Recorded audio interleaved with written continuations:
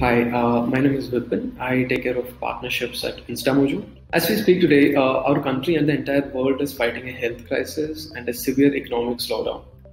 And uh, among others, small businesses are one of the worst affected segments in this in this situation.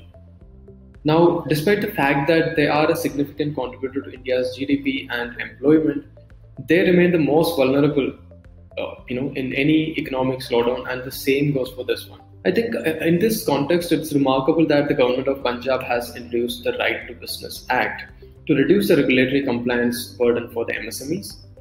Right from the beginning, it's been our mission at Instamojo to help entrepreneurs uh, start their business, uh, you know, with minimum efforts uh, by utilizing the potential of digital and internet. I hope businesses, uh, small businesses, MSMEs in Punjab and elsewhere in India make most out of these opportunities, and I wish them all the very best. Thank you.